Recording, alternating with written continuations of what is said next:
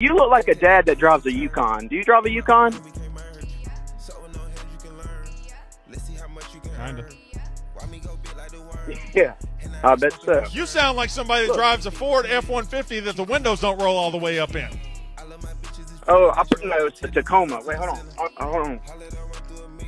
Why am I Hey, holding? Brandon, my, my look, my sister, uh, my sister, she wants you to tell her happy birthday. It's her 22nd birthday today. I'm on a show. I'm on a national show. I can't stop and tell your sister right happy birthday. Look, all you all you can say is just happy birthday, Candace. She's right here. She's not talking. She's I'm not gonna. Happy birthday, Candace. I hope. I hope this year. Yeah, is- Candace, in your mouth, mother.